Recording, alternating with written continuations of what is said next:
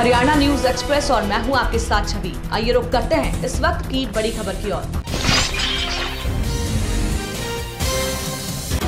डाक विभाग की ओर से विभिन्न योजनाओं की ब्याज दरों में बढ़ोतरी की गई है। विभाग की ओर से लोगों से इन योजनाओं का लाभ उठाने की अपील की जा रही है। डाक विभाग से सोलन अधीक्षक आर डी पाठक नाहन में पत्रकारों से बातचीत कर रहे थे।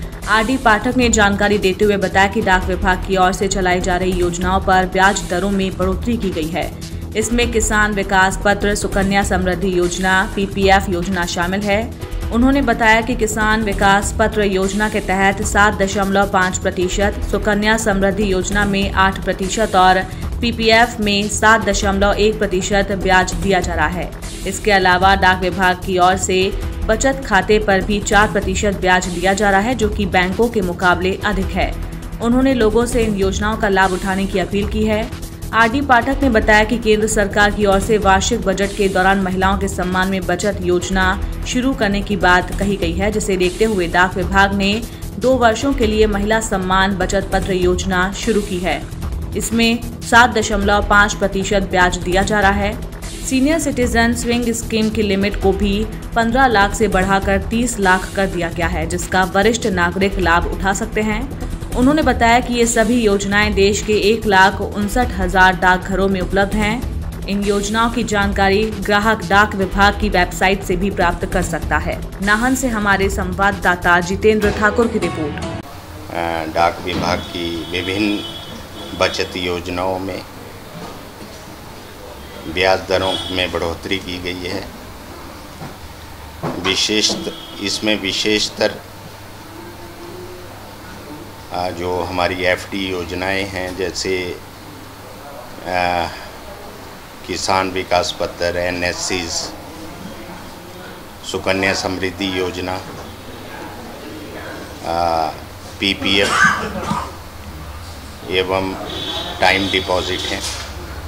इन योजनाओं की विस्तृत जानकारी डिपार्टमेंट की वेबसाइट पोस्ट इन्फो पे उपलब्ध है। इस इन्फॉर्म इस ऐप को हम प्ले स्टोर से डाउनलोड कर सकते हैं।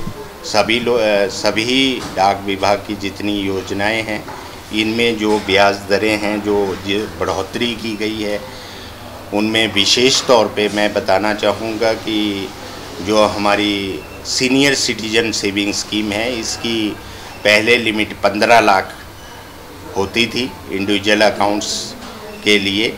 अब ये बढ़ाकर तीस लाख कर दी गई ये योजना छः वर्षों के लिए है और अगर जमा करता चाहें तो इस योजना को आगे फर्दर बढ़ा सकते हैं। इसमें सुकन्या समृद्धि योजना, जो भारत सरकार द्वारा बेटी बचाओ, बेटी पढ़ाओ के अभियान के अंतर्गत है, उसमें 10 वर्ष से कम आयु की बच्चियों को ये इसमें उसके लिए एलिजिबिलिटी रखी गई है। उन सभी बच्चियों का खाता खुलवाया जा सकता है बच्ची को आत्मनिर्भर करने के लिए। ये योजना अत्यंत लाभकारी है और इसका जो है वो अब जो है इसमें निकासी की सुविधा भी बना दी गई यहाँ पे मैं ये भी बताना चाहूँगा कि भारत सरकार द्वारा डाक विभाग के अंतर्गत महिला सम्मान योजना को प्रोसेस उनको सुदृढ़ करने के लिए योजना दी गई है। ये सभी केवल डाकघरों में ही उपलब्ध है और इस योजना के अंतर्गत साढ़े सात परसेंट का ब्याज दिया गया है। और ये जो है, अगर इसको न्यूनतम एक हज़ार से लेके दो दो लाख तक जमा किया जा सकता है। इस योजना के अंतर्गत साढ़े सात परसेंट ब्याज भी निर्धारित है और इसको क्वार्टरली एक्यूमुलेट किया जाता है। यानी एक क्वार्टर के बाद जो ब्याज होता है, वो प्रिंसिपल अमाउंट में ऐड करके फिर ब्याज मिलता है। किसी जमा करता के बारे में कोई भी शिकायत या कोई फाइनेंशियल इरेगुलरिटीज़ होती है तो उसको हम प्रॉपरली एड्रेस करते हैं। योजनाएँ हैं, चाहे सेविंग है या क्या बैंक की पर इंश्योरेंस इसमें होता है?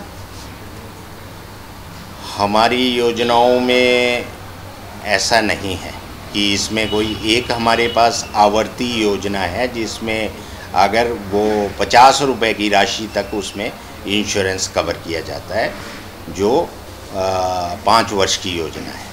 इसके अलावा अन्य योजनाओं में हमारे कोई इंश्योरेंस का प्रावधान नहीं है, क्योंकि ये भारत सरकार का मंत्रालय यहाँ इंश्योरेंस की कोई ज़रूरत नहीं है। अकाउंटेबिलिटी सुनिश्चित है यहाँ।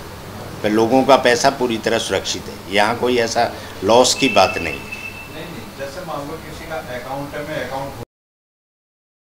हमारे फेसबुक पेज को लाइक फॉलो और शेयर करें। साथ ही यूट्यूब चैनल को लाइक करें सब्सक्राइब करें और ताज़ा खबरों के लिए बेल आइकॉन को दबाना न भूलें।